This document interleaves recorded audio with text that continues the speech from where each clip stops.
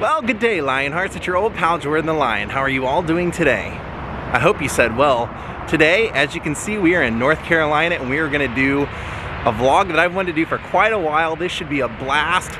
This is a real place that we knew as a fictitious place starting in 1960. Television show, The Andy Griffith Show, came on the air and it's never been off the air since. Today we are going to the real Mayberry. And today I'm wearing a different pair of sunglasses. These are for Ryan Butler. Ryan, I hope you're an Andy Griffith fan. And uh, at the end, I'll send these to you. Hope you guys all enjoy this. Let's go to Mount Airy.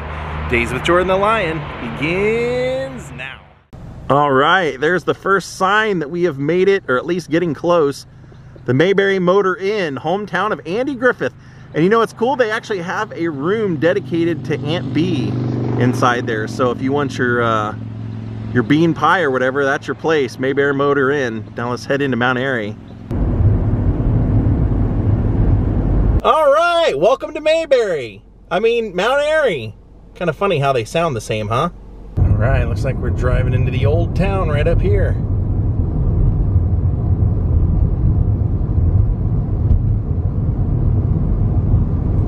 Gonna go meet the man who met the man who met Andy Griffith. Dandy's neighborhood. Well, we definitely came to the right place. There's Barney's squad car and another squad car and Andy's home. Take a look at that. That's actually an Airbnb. It was booked up for the entire month when I was here. This was where Andy Griffith grew up. In this little town of Mount Airy. He was only child. His dad worked in a furniture factory and at the time this was considered a lower income part of town so he grew up without a TV or radio his friends said and they would just go out play in the streets play kick the can make up games and when Andy grew up he ended up playing music and going off to University of North Carolina and played in the band and said when he was at UNC watching those football games in the band, that's where he came up with his idea of wanting to be a comedian and came up with the bit that would end up making him pretty famous. As Andy was watching the football game, he thought, how funny would that be if you had kind of like a, a backwoods type North Carolina person like him or, you know, someone calling a football game. And he ended up getting a deal after he went out and performed that skit ended up getting a deal to make a record of that and it sold a million copies. There's Andy's family swing. So he ended up going off and doing the stage version of No Time for Sergeants and that's when he was doing stage that's when he ended up meeting Don Knotts.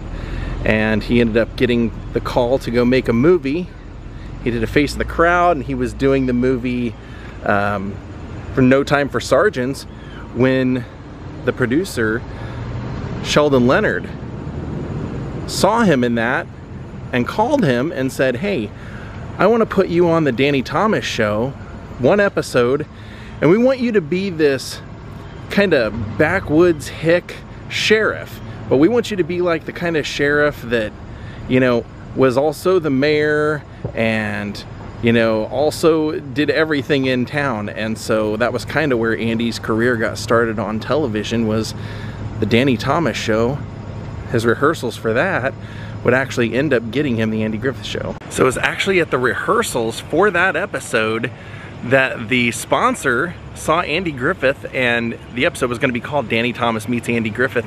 They liked Andy so much that they told him, hey, we want to do a spin-off from the Danny Thomas show just for you. And in that episode, Opie was playing his son, Aunt Bee was in the episode, and so both of them got cast to be on the Andy Griffith show. But part of the deal was that Andy was pretty smart.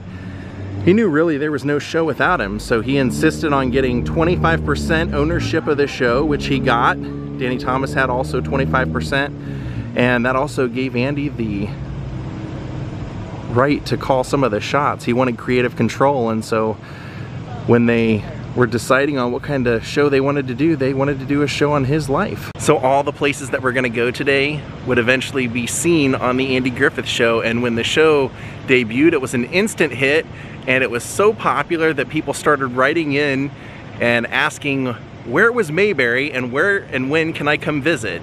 So at some point we'll come back here, stay in the house, and uh, we'll take one of those squad car tours, but today we're just gonna go take a tour of the town and go see Floyd's Barber Shop, the the old courthouse. We're gonna go see Wally's service station, and they even have an Andy Griffith Museum. See, they even have him living here when the show was going on because the show started in 1960. So that probably means his folks were still living here. And his parents ended up making little slight appearances in the background of some of the episodes of Andy Griffith's show. One of my favorite parts of the Andy Griffith show would be whenever they were in the courthouse because I loved Barney. So let's go over to the courthouse first and talk about how Don Knotts got on the show. It's right up here because I see the squad car. Well, thanks for the tip, Goober. So here we are, a replica of the Mayberry Courthouse. I can't wait to see this. So, how did Don Knotts become involved? He asked.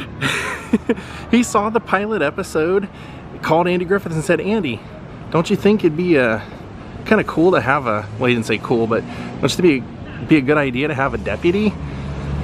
Andy thought it was a great idea and Don Knotts then became the comedy relief for the show and Andy became the straight man.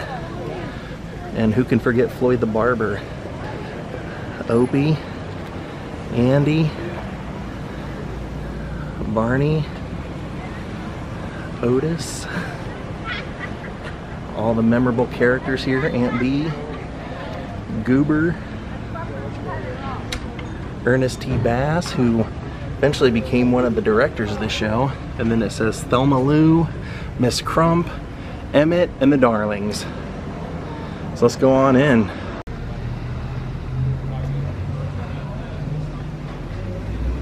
So once you walk in, you've got Andy's desk right over here. You can actually sit behind.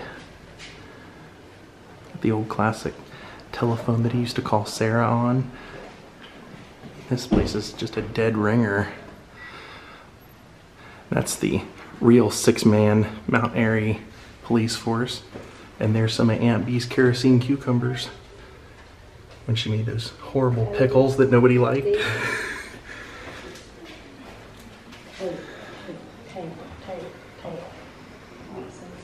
All right. And then of course the, the gun rack.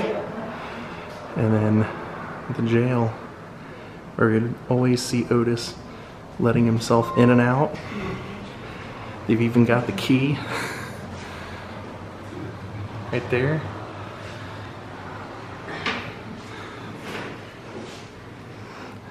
Otis's jail cell has a TV and a bed. Picture Otis. Gotta love it. A Couple of chairs, real nice and comfy. We're inside the cell. And there's the window. So when you are locked in here, lock himself in and just reach out and grab the key. And right here they have a brick that is dedicated to Ernest E. Bass. when he would always throw bricks and rocks through the windows. And then here's the other cell. Very cool experience. You can actually come in and just be inside the Mayberry Courthouse. And you just can't forget Barney and his one bullet in that shirt pocket either when you look in here. Right beside the courthouse, not only do they have the old cars and the Darlings truck over here, they have a Wally service station right next to it. Let's go check that out. I think all those people are waiting to take tours with the squad car. Let's go check out Wally's. This place was great. This is where we got to meet Gomer and Goober. And actually, when they first were doing casting for Gomer Pyle, they hired Goober, George Lindsay. He was the first person they gave the role to, and then Andy Griffith was in Santa Monica and saw Jim Nabors doing a comedy routine where he talked real low and then did the Gomer voice. And he liked it and gave Jim Nabors the part. So they eventually wrote George Lindsay in as Goober. And George said, when I first got the part, I was having trouble coming up with kind of a character for it. And I went and told Andy, I said, I'm not really sure where to go with this character. Andy said, Goober's the kind of guy that would walk into a restaurant and talk about how good the salt was. And that's all George Lindsay had to go on.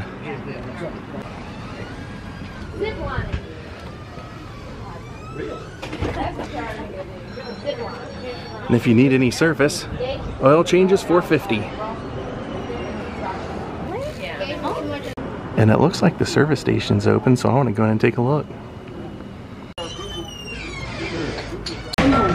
This place is great. You get photos of just about everybody in the cast. All kinds of stuff. Coasters, coffee mugs. Hey, Miss Jean, what's happening? Oh, it depends. On Main Street, Yes.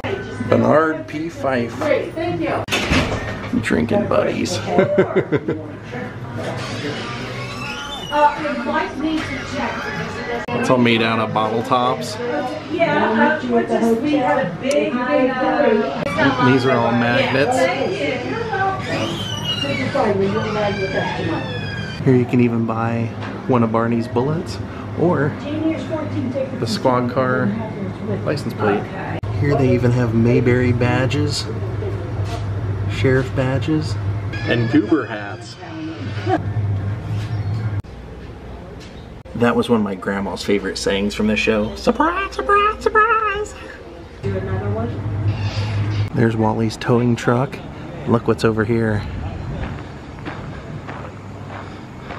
And if you walk out back of the Wally service station, you can see the B. Darlin farm that they've created. Little shack. I love it.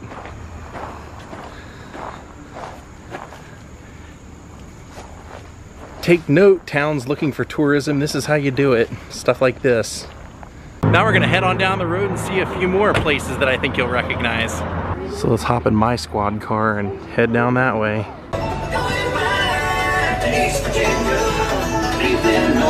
Aunt Bee's Kitchen. Here we've got Opie's Candy Shop. And right next to it is Floyd's Barbershop.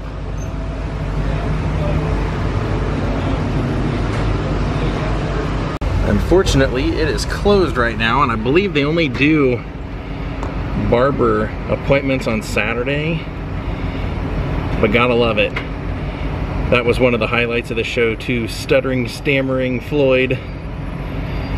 And sadly, what happened to him was, uh, I think like on the third season, he ended up having a stroke and had the unfortunate situation where he couldn't stand up to film. So that's why a lot of the times you'd see him sitting in his chair off here to the side, right over there. But they, uh, they eventually, when they needed to do shots of him cutting Andy's hair, they put a stool behind there that he could sit on that made him look like he was standing. And there he is, Floyd. Pretty cool to see. But let me show you what's right next to it here. So just to the left of Floyd's is the Snappy Lunch Counter, home of the pork chop sandwich. Unfortunately, they're closed already too. I believe they close at 1. They get really, really busy. I saw online they said that the uh, line is usually coming out the door. We'll eat here when we spend the night at Andy's house in the future. Looks pretty small in there, but I think they have a connecting room with a little bit more seating on the other side of Floyd's. Let me go check for you. Yep, they sure do. There's a connecting dining room in here. Oh yeah, that looks awesome. Let's see, they have all kinds of Andy Griffith memorabilia in here. And that's what you want when you come here. Pork chop sandwich. And over here they have a mural to the vocal group, the Easter Brothers from Mount Airy. And apparently one of the Easter Brothers owns the music shop here. James Easter. That's where Andy would have got his guitar strings. Kind of a fun photo op over there they found. Mural of Barney and Andy together.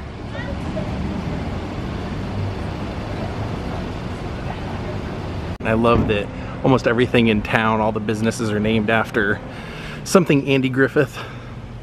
Like Barney's Cafe, home of the Barney Burger. This is kind of fun. I just walked past this and saw the giraffe, which caught my eye. And then it also caught my eye that they had the looking for the Home Alone bandits. The wet bandits. So there's another place I want to show you down here. Unfortunately, it's closed. I was kind of hoping to eat here, but another Andy Griffith Show connection. The loaded goat, the time the goat ate the dynamite. But you do have to respect, they've got this in their window. A Johnny Cash, Andy Griffith movie poster. Thank you all for watching. We're gonna call it a day. Have a great night and goodbye.